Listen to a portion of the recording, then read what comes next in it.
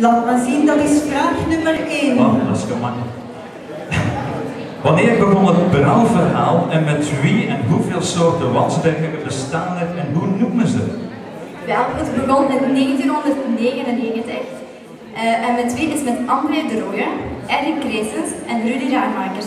Men heeft drie soorten Walsberger bier. Walsberger blond, Walsberger dubbel en Walsberger trippel. Men had dan nog een tijdelijk biertje en dat was het, uh, het lanceertje. Deze werd tijdelijk gebrouwen voor herdenking voor uh, 100 jaar Wereldoorlog 1, slag om Portsmouth, Gussenhoven, 1914. Wel, dames en heren, dat staat zo. Dankjewel, Steven. Ja, maar... Dankjewel. Dan kandidaat nummer 2. Evenveel succes. Dat is vraag nummer 3. Ja, van waar is de naam Walsberger afkomstig? Uh, de naam Walsberger is afkomstig uh, door de heuvel die tussen de twee gemeentes, Melkwezer en Bommerson, ligt. Uh, vroeger waren daar de Alvermannen die daar bewoonden en zij spraken Latijn. Voor de bewoners uit Linter was Latijn, of stond dat gelijk aan onbegrijpelijk Waals.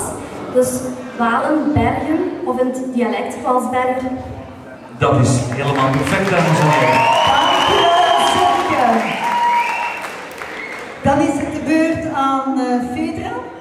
Zij kiest vraag nummer 2.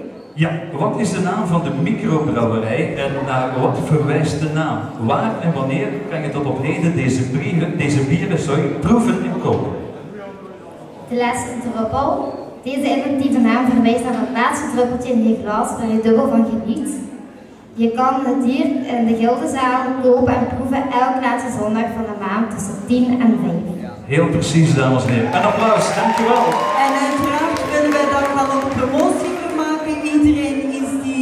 zondag dan ook welkom. Kandidaat nummer 4, Stefanie Boons. Stefanie heeft vraag nummer 4 gekozen.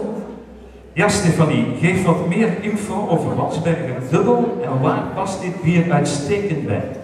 Uh, de Walsberger Dubbel is een bruin biertje het heeft een karamelsmaak. Het is een uh, bier van categorie S met uh, 7,5 procent. Uh, met 10 op keldertemperatuur kan u het beste serveren. wat er het beste bij past zijn vleesgerechten of stoofpotjes, alsjeblieft. Ja, dat is heel juist. Dank u wel,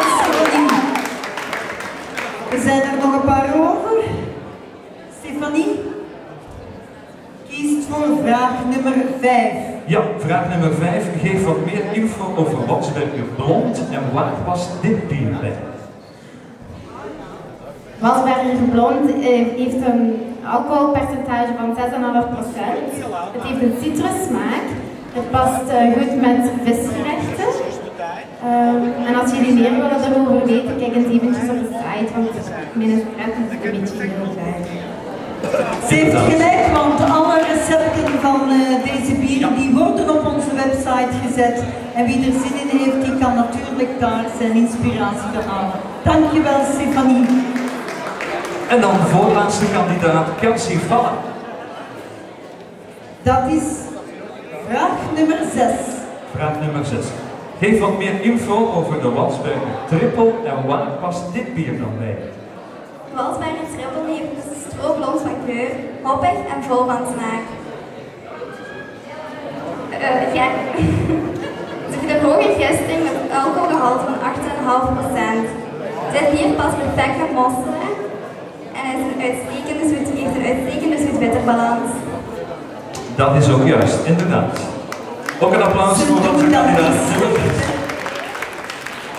Jolien, je hebt nog niet veel keus meer, maar lucky number 7, dat kan niet slecht zijn.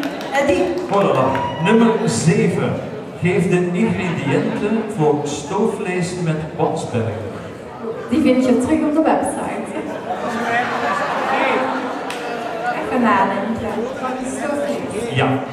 Uh, een kilogram rundstoofvlees. Daarna moet je nog een klontje boter toevoegen. Um, peper, zout, een beetje laurier, um, kruidenblokje, kruidnagel, beetje van alles. Uh, vooral twee flesjes uh, Walsberger Alsjeblieft. Dat is ruim voldoende. De rest vindt u inderdaad terug op de website. Voilà.